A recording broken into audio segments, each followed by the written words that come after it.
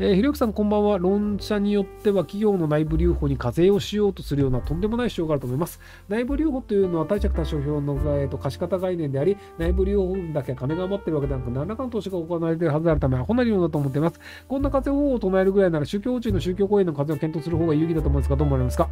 えっと、まあ、基本的にはあの頭の悪い人のが多数派なので、内部留保に課税するべきだっていうと、え、そんなにお金余ってんのじゃあ課税した方がいいじゃんってなるのは止められないと思うんですよ。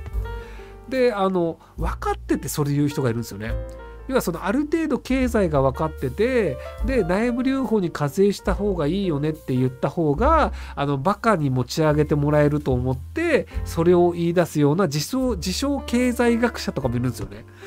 なので結果としてその自称経済学者の人も内部留保に課税した方がいいって言ってるんだからこれはきっと正しいんだみたいなでそれができないのはなんかグローバル経済の人たちに日本政府が牛耳られてるのでなんかあのその DS が悪いのだみたいななんかそういうタイプの人もいるんですけどなのであの基本的にはあのちゃんと物事が分かってる人は内部留保って別にあのなんか普通預金に現金がいっぱいあるわけじゃないのよねとかそもそも論じゃ普通預金に現金で取ったら課税されるとなったらそれみんな普通預金にないで別の形の投資という形で形を変えたりっていうのになるだけなので全然意味ないよねっていうのが多分分からないんだと思うんですよね。